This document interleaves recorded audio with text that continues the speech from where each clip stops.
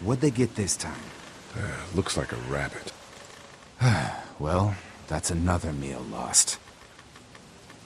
I still can't believe we went through all that commissary food in three months.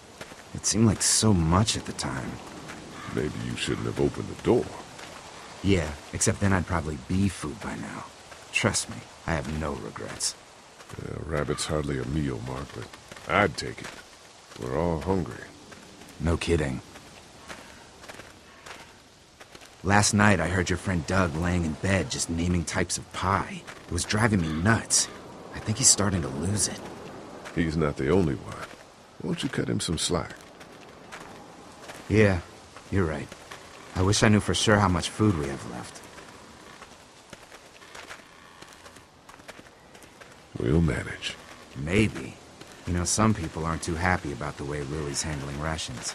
Lily knows it's important to keep the adults fed and functioning. Sometimes that means someone's gotta miss a meal. You think Kenny's having any more luck than we are out here? I sure hope so.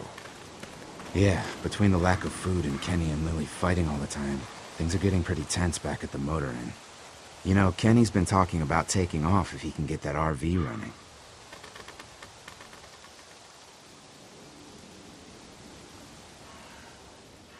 Kenny won't abandon us. He's a good man. Yeah, I guess we'll see. Can't blame him, though. Did you hear Larry going off on him last night? What's the old guy's deal, anyway? Seems like he's got a problem with you in particular.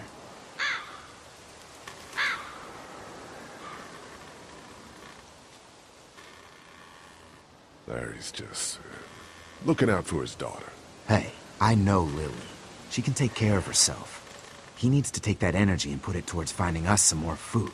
And I know Lily thinks he's getting weaker, but the guy's all muscle. He's a walking pile driver. I know I wouldn't want to be stuck in a room with him. And didn't he punch you in the face one time? Uh, knock me flat.